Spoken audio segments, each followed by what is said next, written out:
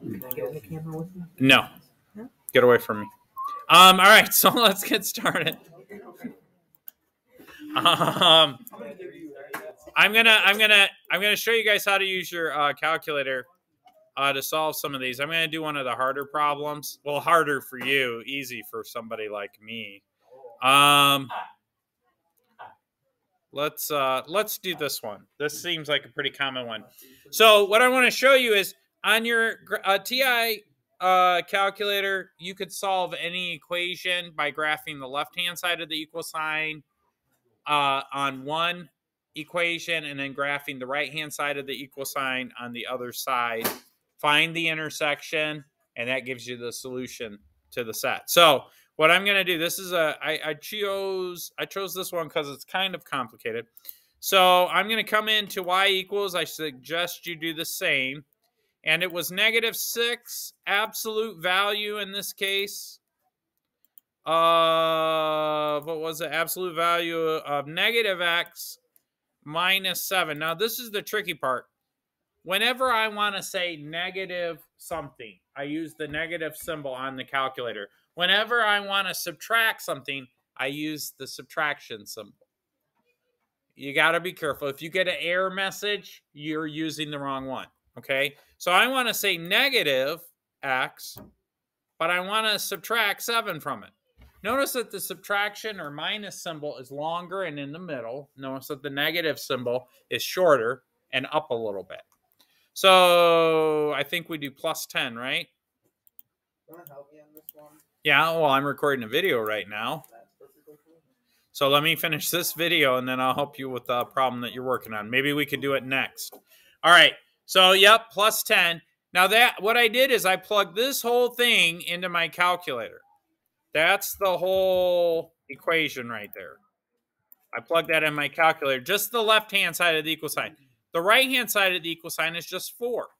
So what I'm going to do is I'm going to come down here to uh, the next equation. I'm going to put 4. And um, a couple of things. Based on this, I know that the vertex is going to be at 7 comma 10. I know that. So I need to make sure that that's in my parameter of the graph. So I'm going to go to zoom uh, standard. As goes from negative 10 to positive 10 for both x and y. Now, you could find this algebraically. That's not what I'm going to teach. Well, I've taught you how to do the algebra. Do the algebra. I want you to do the algebra. The problem you run into is sometimes the answer isn't x equals 2 or x equals 3. Sometimes it's x equals 3.5. Well, what you could do on your calculator, your calculator will actually find the intersection for you. So what you want to do is see this little word right here where it says calc. If I hit second and the trace button, it takes me to a calculate menu. Everything, I don't know if you guys have picked up on this, everything you do with graphing somehow uses one of these five buttons at the top. So what I want to do is I want to find the actual intersection. Scroll down to option number five, hit enter. Now, I think, look at these x values. This is negative 1, negative 2, negative 3, negative 4, negative 5, negative 6, negative 7, negative 8. So I think I need to move my x value closer to that. Right now, x is at 0, so I'm just going to move to the left. And what this does is I'm moving along the blue curve, and you'll start to see it pop up on the screen once I get to negative 5. See how that happens? And I want to move that little cursor till it's pretty darn close. Well, it doesn't matter. I'm not going to get it exactly. I'd have to zoom in. So I'm going to stop right there. I want to get it pretty close to, negative 5.9. well, hold on. Let's see. Uh, it asked for the second curve. Again, you adjust it to where you think the intersection is, and then guess is pretty close. It's negative 6. So when x equals negative 6, both equations equal 4. So that's one of our solutions. Now to do the other one, I have to start from scratch. I'm going to hit second trace, go down to intersect. And now I'm going to move my uh, cursor. Will you guys get that door real quick? I got to move my cursor pretty close to this intersection. I'll do this. Shh, settle down. Just let them in. And negative 8. So my solution is negative 8 and negative 6. So now that I know that, which one is furthest to the left? Negative 6 or negative 8? Negative 8. So we say that's the smaller solution. The more it goes down, the smaller.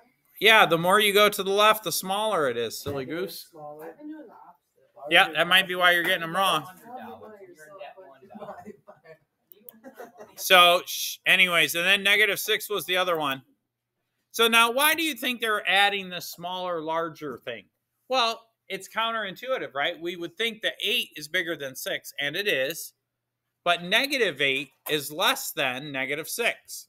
Yeah. Exactly. So let's see if uh, I got it right. Duh, what did you think? Dang it. What did you think was going to happen? You're gonna get it wrong. All right. Now, one last thing I want to show you guys. You could do this the same way in the table of values.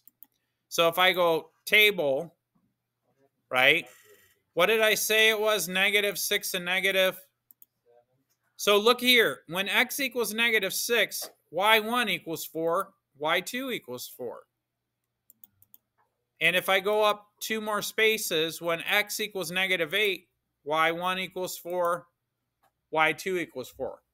There's one more thing I want to show you. This is kind of a cool thing. It's uh what if I wanted to count by something different other than ones? The next thing I want to show you is the table set. So if you hit second and then you hit window, this is the x increment. That's what you count by. Right now, we're counting by ones. It goes from x equals 0 to x equals 1 to x equals 2. I could put a decimal in here. If I put 0.25, it's going to count by 0.25s. So now when I hit table, well, bam, with the bacon sizzle, it's 0.25. And then I can see all the values. Does that mm. make sense?